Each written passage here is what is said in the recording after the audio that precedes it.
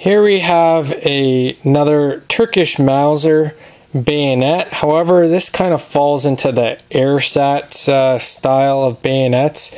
Uh, very crudely made. Um, I believe these were uh, manufactured towards the end of uh, World War One. Um, more of an economical, cheaper made bayonet. However, very solid construction. Uh, all metal.